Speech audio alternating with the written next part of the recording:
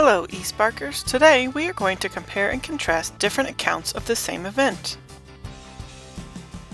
Let's start with some definitions according to Merriam-Webster. If you were telling a story to a friend about a car accident you saw on the way to school, you would be giving a first-hand account. Sometimes this is called an eyewitness account. If you were telling your friend about the same car accident, but your information came from a newspaper article that you read, then you are relaying the story secondhand. But how can you tell for sure? Here are some clues you can look for when you are trying to decide if what you are reading or watching is a first or second-hand account. Really focus on the pronouns. Is the author talking about himself or other people? Consider the source. Is what you are watching based on the author's personal experience or research that she conducted? Something to look and listen for are facts versus observations. If you hear a lot of information about times, dates, places, with no mention of how people are thinking or feeling, it's a pretty good clue that you are watching a secondhand account. Finally, try to decide where you might read or watch this story.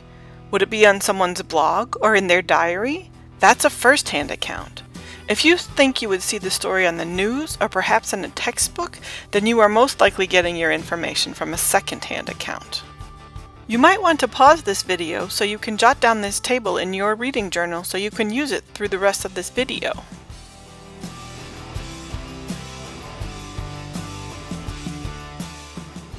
Let's give it a try. We are going to watch clips from this video I found about Hurricane Katrina on YouTube. Think about the clues we talked about or look at your notes in your reading journal as we watch this clip. On August 25, 2005, Hurricane Katrina passed over southern Florida and hit the Gulf of Mexico. Two days later, the hurricane was heading toward New Orleans and the coast. Do you think this clip was a first-hand account or a second-hand account? You got it, second hand. This is a news report. We saw maps and heard facts about where the storm was landing. This is definitely a second hand account. Here's another clip. See if you can tell the difference. I brought my birthday money and my money for my summer job, a few pair of clothes. Our important papers, and a couple of change of outfits, and packed some snacks for the, for the kids. Six cars total. 23 of us, ranged in ages from three months to 70. We took the van so we could all be together.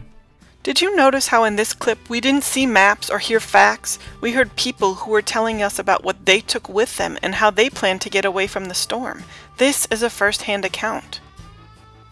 Let's look at one more clip. Watch carefully and jot down in your reading journal what you notice.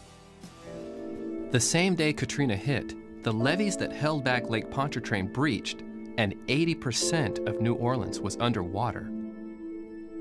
Well, when Katrina first struck, you know, I just I thought it wouldn't be as long as a couple of days, but when it turned out to be a little bit longer, I thought this is going to push a lot of plans back in my senior year. And we had only been in school for, I think, a week and a half. And so we just knew that, okay, this is not days we're going to have to make up. This is we might not even get to go to school again. The first part of this clip is a second-hand account. We got a report about the levee breaking and how much of the city was flooded. In the second part, we hear a girl telling how she realized that her plans for her senior year of high school were going to change a lot. That's a first-hand account. A first-hand account of a story adds context and emotion to a story. A second-hand account tells the facts and higher-level details. Okay, let's try with one more example, this time with a written account. Your job is to read a short excerpt of an article I found on History.com. Remember, you are looking for the pronouns that are used and if there are personal interest stories or facts. Pause this video to take the time that you need to read the excerpt.